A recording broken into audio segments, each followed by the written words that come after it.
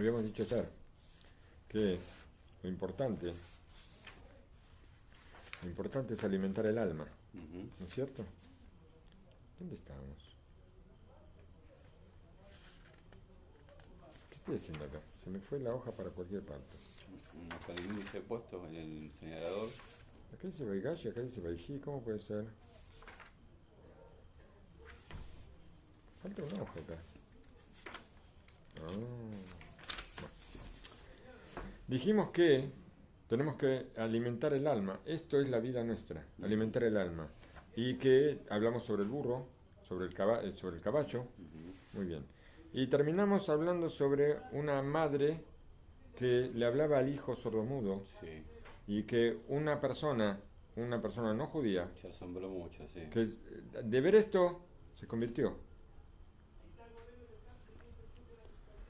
Nosotros tenemos que repetirnos una y otra vez que cuál es nuestra misión en el mundo.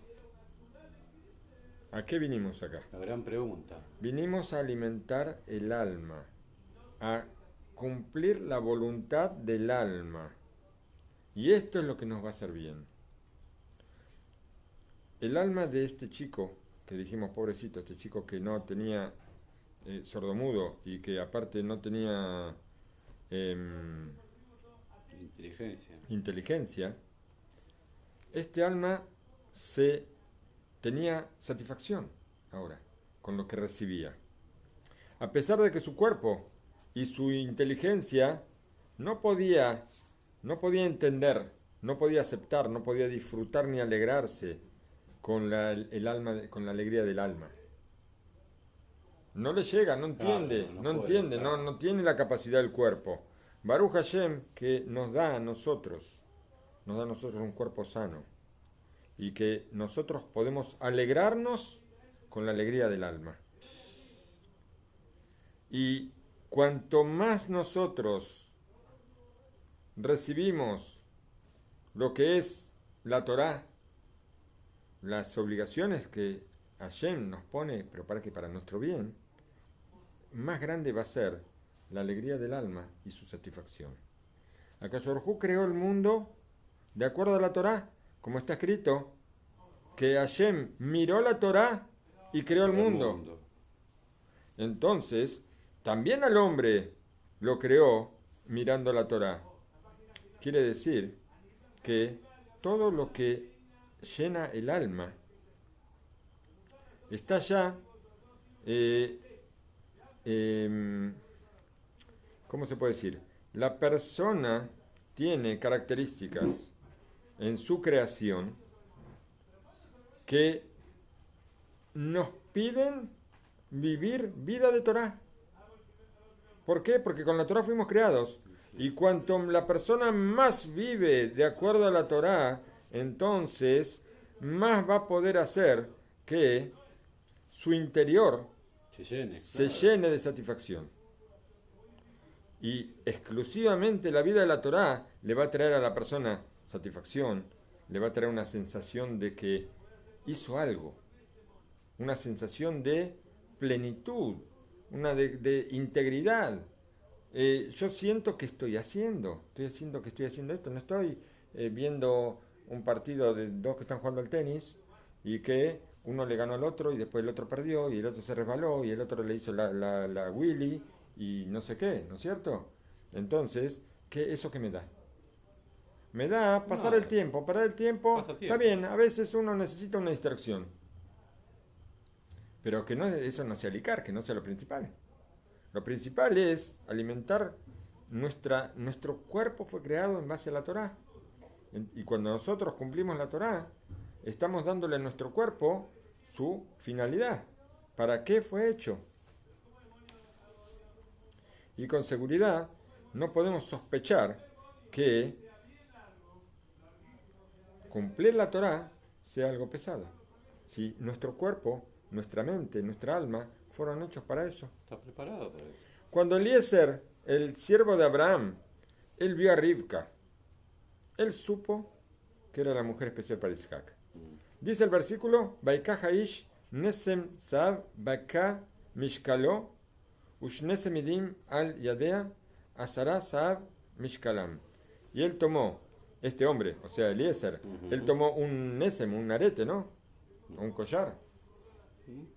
Eh, no, un collar. Los semidim son... Las pulseras. Bueno, to- tomó las joyas, una pesaba beca Ujú. y dos, 12 pulseras que se las puso en la mano, que eran 10, 10 pesos de oro. Así trae la, la Torah en Bereshit.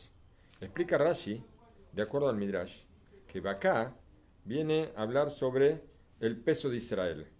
O sea, el peso del, del Nisam. Nisam era lo que se pone en la nariz, el arete que va en la nariz. Dice, esto es el peso de Israel. Bekale Gulgelot, cada uno, cada persona tiene un peso. Y dos semidim, dos eh, eh, pulseras, viene a señalar las dos tablas Las- de la ley que estaban semudot, que estaban juntas. Y Azarasab, y pesaban 10 10 eh, oros, 10 medidas de oro. Está hablando de los 10 mandamientos. El azar no le dio las joyas así porque sí a Rivka. Cada cosa tenía un significado. Cada cosa nos viene a enseñar también el tipo de joya y también el peso de la joya. Es posible explicar que estas dos joyas y sus pesos, viene a señalar que Rivka tenía tres cosas, con, las tres cosas con las que el mundo se mantiene. Torah, Abodá y Gemilut Hasadim. Así dice el Pirkabot, que la- el mundo se mantiene con esas tres cosas. Con Torah, con el, el estudio de la Torah, la ocupación de la Torah, el servicio a Hashem, la Abodá, y hacer favores. El Nesem, el Nesem que va sobre la nariz, ¿no es cierto? Es un aro. Es un arete que va- iba sobre la nariz. En aquella época se ponían en la nariz un arete. ¿Para qué? un arete así, ¿Para qué? como le ponen al chancho en el... Como a los animales, sí. A Sí, la vaca no sé, también. le sí. ponían un arete, se ponía un arete, era un adorno que la gente usaba. Ah, un adorno, está bien. Esto tiene, una, se- eh, tiene que ver con el Gemilut Hasadim, con el favor. ¿Por qué? Porque eh, esto eh, y el Gemilut Hasadim es la columna de Abraham Avinu. Es el, el- el- la cualidad principal de Abraham Avinu. Y Rivka, nosotros ya, eh, ella muestra que la- tiene la cualidad del favor. ¿Cuándo? Cuando Eliezer le pide, dame un poco de agua. Y ella le dice, te voy a dar agua para vos, para los camellos, para los sirvientes, para, para todo el mundo. todo. le a todo le voy a dar agua. Ella demostró que tenía eh, Gemilut Hasadim. ¿Cómo se entiende que este arete, qué tiene que ver el arete con el Gemilut Hasadim, con el favor? Buena pregunta. Dice, esto se aclara en forma maravillosa en el libro Ber Yosef sobre la Torah, de acuerdo a la explicación del Midrash en la Perashat Temor. Dice, Peri Etz Adar, cuando habla del etrog, ¿no es cierto? Sí, Peri Etz Adar, el fruto árbol. del ar- el fruto hermoso del árbol. árbol. Habla del etrog. Esto es Israel. Así como el etrog tiene tam y tiene reach, Sí. el etrog tiene gusto y tiene olor, también Israel tiene gusto y tiene olor. ¿Qué significa que tiene gusto y tiene olor? Tiene Torah y tiene Masim Tobim. Esto es lo que tiene Israel. Tiene Torah, esto es el gusto, y tiene olor, que son las buenas acciones. Entonces ahora el gusto, ya sabemos, el gusto es la Torah y el olor son las buenas acciones. Entonces, ¿qué pasa? Masim Tobim son, y Gemilut Hasadim también son buenas acciones. Favor, son acciones de favor, son buenas acciones. Y si decimos que esto tiene que ver con el olor, entonces tiene que ver con el arete que va en la nariz. Ah, ¿Sí? Que en la nariz está para sentir el olor, no para poner aretes. Entonces, muy bien, hasta acá eso. Ahora, tenemos el segunda, la segunda columna. La segunda columna, Ishak Avinu, es el, la columna del el servicio a Hashem. Y esto lo estudiamos del peso del arete. El peso del arete era beca. ¿Qué es beca? O vaca o beca. Sí. Esto viene a señalar mitad. Está hablando de una mitad. Una mitad. Que beca es una mitad. Sí. Y entonces habla de él, él se relaciona con el Majasita Shekel. con Ah, el medio con el shekel, medio shekel. que Se era paga. beca por Gulgolet. Por está cabeza, escrito, está sí. escrito, que era mitad por cabeza. Mitad por cabeza. Ahora tenemos que entender que, que tiene que ver Majacita Shekel con, con otros preceptos. ¿Por qué? Porque podemos decir que solamente... eh, ¿qué, qué es lo que quiere relacionar Eliezer? Hablando del Majacita Shekel, y, y qué tiene que ver con la... Con, eh, estamos hablando de servicio a Shem. Servicio a Shem son muchos preceptos, ¿no es cierto? Es posible que nosotros vamos a decir que la trumá, la ofrenda, lo que se aporta con el majacita shekel, con el medio shekel, Sí. es para, exclusivamente para comprar sacrificios para la gente. Los sacrificios del Sibur, los animales que tenía que traer la gente al Betamigdash. Entonces de ahí vemos que esto es el, el servicio. El servicio a Hashem se relaciona en el Betamigdash con los sacrificios. Y esto corresponde a Isaac. Con respecto a los, las pulseras, nosotros ya vimos en el Midrash que las, las pulseras tienen que ver con la Torah, que es la columna de Jacob. Y acá tenemos una, una relación maravillosa que con los tres, las tres columnas con las que el mundo se sostiene Claro, y que son Abraham, Isaac y Jacob. Favor. eh, Torah, Torah, Abodá eh, y Gemilut Hasadim. Y relacionado con Abraham, Isaac y Jacob. De acuerdo a la Torá, eh, en la señal de la Torá, nosotros podemos pro- pro- profundizar un poco más. Acá vamos a traer una, algo que sobre el tema, eh, algo que tiene que ver con lo que habló acá el Rab. Eliezer sabía que cuando Rivka vuelve a la, ca- del- a la casa de su padre, ahora está ahí en el campo, ¿no es cierto? Y él le da, le da las, eh, las pulseritas, le da todas las joyas, le da todo, y eh, pero sabe que cuando vuelve a la casa del ca- del padre, ahora eh, le van a tirar, le van a patear en contra. No van a querer que vaya con Isaac. Entonces, y Tetakel ve a Nagut Benea Mishpaha. Él está pensando que hay quienes van a tratar de influenciar sobre ella para que no se case, para que no se vaya con Isaac.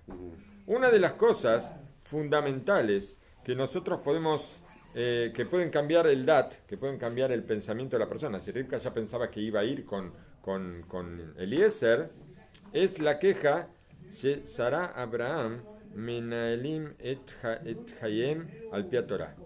Es que le van a decir, mira, querida, tú va, quieres irte a casar con Isaac, pero tenés que saber que el papá. Abraham, es un loco, es un fanático es religioso ultra ortodoxo, es, es, es mea sharim, eh, qué sé yo. Eh, fanático, fanático, me todo el día Ah, está pensando en pensamientos. Claro, todo el día está pensando en Hashem, todo el día está con, loco con eso, y, y tú no puedes hacer esto. Esto es un, eh, son 613 preceptos que eh, son como cables que te atan, que atan la mano de la persona. Estamos atados por estos cables, ¿sí? Son 613 cables que nos atan las manos y no nos dejan ir para atrás ni para adelante.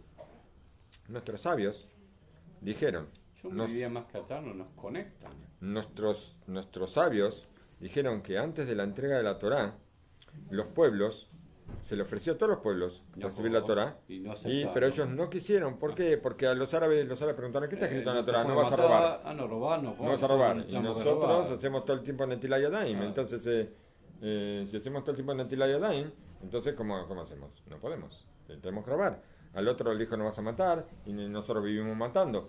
No y así, cada pueblo, cada pueblo tenía lo suyo. El único que aceptó la Torah fue Israel, ¿no es cierto? Y entonces, ¿cómo vamos a poder hacer para, para cumplir la Torah que nos ata? Tal vez la verdad de estos cables, que hablamos de la misbot, Sí. son cables de amor. Esto Ah, es lo que nos dice el Rab. Son cables de amor que llevan a la persona por el camino de la satisfacción verdadera. Nosotros decimos en la tefilá, Ashrenu, dichosos, Dichosos. Matov Helkenu, qué bueno es nuestra parte, Humanaim Goralenu, qué agradable es nuestra suerte. ¿Por qué? Porque es al revés. Justamente la persona que se ocupa de la Torá es la persona libre en forma verdadera. No estamos atados a nada, estamos libres, somos, servimos a Shem y no a las personas. La persona que se cree libre está sirviendo a otra persona. ¿Y qué libertad tiene? Ninguna. Ninguna. Para poder mostrar la verdad, para poder eh, mostrar esta verdad, Eliezer le da a Rivka dos pulseras con que la forma recuerda dos pinches que son eh, los pinches que le clavaban a los presos en la cárcel. Parece que había presos que le- en la época de los eh, eh, épocas antiguas, Sí. como, como así que algunos los clavaban a las maderas, algunos los clavaban a las celdas, les clavaban con les clavaban la mano a la celda para que no se escapen. Aparte de esto, de- aparte de las pulseras estas, el peso era algo pesado. Las pulseras eran algo pesado. Y una mujer, va a decir, una mujer tiene que llevar, tiene que llevar eh, eh, eh, joyas. Sí. Y de repente la mujer, las joyas son pesadas. Y la mujer va a decir, uy, qué pesadas que son estas joyas, no puedo, me se me cae la oreja. ¿Mm? O tiene una pulsera acá, me pesa el cuello. ¿Sí? Dice, a pesar de que, de que las mujeres, esto sea pesado, Sí. pero ¿qué pasa? Cuanto más grande es el peso del oro, a la mujer no se le hace pesado. Al contrario, Claro. si le dicen que esto es de oro y esto es más pesado, más lo va a querer llevar, más belleza le va a dar, ¿sí? Y más valor va a tener para ella llevarlos. Entonces vemos acá que lo que parece un cable que nos ata, lo que parece algo que nos pesa, en realidad es algo que nos regala belleza, nos regala esplendor y nos hace la vida más agradable. Esta enseñanza que nos deja Eliezer sobre que él le está enseñando a Rivka y a todas las generaciones que vienen después, esto nos dice que no vayamos detrás de los engaños del Yetzer Hará, que es el, eh, nuestro amigo que nos quiere, quiere solamente nuestro mal. Las personas que piensan que el yugo de la Torá es pesado y que me cuesta llevar esto y que, que no me deja la vida tranquila, tienen que saber que todo es al revés. Lo correcto es al revés. Tal vez haya cables, pero son cables de oro. Y los cables de oro no me molestan. Los 613 preceptos no son, no son cargas, Jalila, sino que son el gusto bueno de la vida. Y es lo que nos alisa el camino para una vida buena, para una vida de satisfacciones en este mundo y en el mundo venidero. Por eso, por eso, para que nuestro camino por la Torah y los preceptos sea un camino continuo, es para que sea un camino que nos haga el bien, que nos haga, agradable la vida, tenemos que saber que Hashem nos dio la Torah y los preceptos, letov lanu kol haim, para hacernos el bien durante toda la vida, para que vivamos, le, para hacernos vivir en este día.